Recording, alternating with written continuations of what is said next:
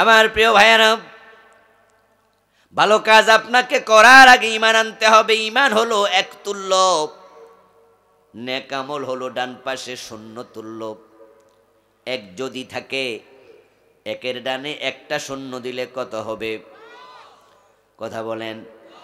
দুটা দিলে, তিনটা দিলে এভাবে আপনি শূন্য বসান মান বাড়বেই বাড়তেই থাকবে ইমান যদি থাকে একটা নেক আমল করো সাথে সাথে আল্লাহ দশ গুণ সওয়াব দেবে কম পক্ষে দশ ইমানদারের আমল নামায় দশের নিচে কোনো সওয়াব লিখা হয় না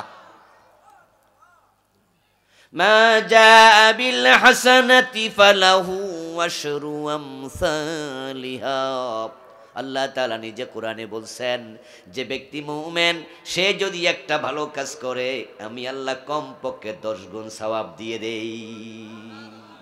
উপরে কত সেটা আল্লাহ ভালো জানেন। সাতশো গুণের কথা কোরআনে আল্লাহ বলেছেন তারপরে বলেছে ওল্লাহু সাতশো নয়, আমি আল্লাহ যদি চাই, আমি তা বাড়াতেই থাকি বাড়াতেই থাকি বাড়াতেই থাকি। সেটা কোথায় গিয়ে থামবে আমরা কেউ জানি না। ব্যক্তির ইয়াকিন যত মজবুত, তার আমলের ওয়েট তত বেশি।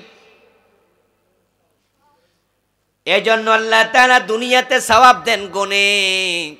হাদিসে গণনা পাওয়া যায় সাতশো গুণ, এত গুণ এত গুণ, সত্তর গুণ, একশো গুণ। আপনারা হাদিসে কোরআনে পাইবেন গুণ দশ গুণ, বিশ গুণ, সাতশো গুণ।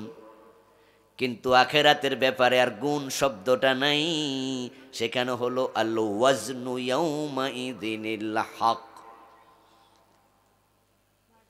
فأما من ثقلت موازينه فهو في عيشة راضية আখেরাতে আর গুণ নাই সেখানে আল্লাহ বলবেন না এত গুণ এত গুণ সেখানে হলো ওজন হবে ওজন দুনিয়াতে দেওয়ার সময় গনে গনে দেয় এত গুণ, কারণ দুনিয়ার মানুষ গুণ শব্দটা ভালো বোঝে।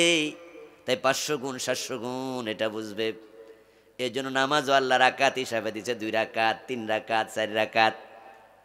আবু বকর সিদ্দিক দুই রাকাত ফজরের নামাজ পড়ল। এখানে আব্দুল কাদের জিলানিও দুই রাকাত পড়ল। আব্দুল কাদের জিলানি রাহেমাহুল্লাহ দুই রাকাত ফজরের নামাজ পড়ে। আমিও দুই রাকাত, আপনিও দুই রাকাত পড়েন। সাওয়াব আবু বকরের টার হজরত আব্দুল কাদের জিলানিরটা সমান হবে নাকি? আব্দুল কাদের জিলানির দুই রাকাত ফজরের নামাজের সওয়াব আপনার আমার সমান হবে নাকি? ব্যক্তির ইমান যত মজবুত, আমলের ওজন হবে ততই বেশি। ও প্রিয় ভাই আপনাকে ইমানওয়ালা হওয়া লাগবে, ইয়াকিনওয়ালা হওয়া লাগবে। ইমান হলো এক, তুল্য ডান পাশে শূন্য বসাও, দাম বাড়বে। পাঁচটা বসাইলে এক লাখ হয়ে যাবে, তিনটা বসাইলে এক হাজার হয়ে যাবে। একটা নেকামল করো ইমান থাকলে দশ গুণ হবে। কিন্তু জীবনের কোথাও কোনো দিন কোনো ফাঁকে, জীবনের কোনো ভাকে যদি ইমান নামক এক মুছে যায়, শূন্যের দাম আর এক পয়সাও নেই।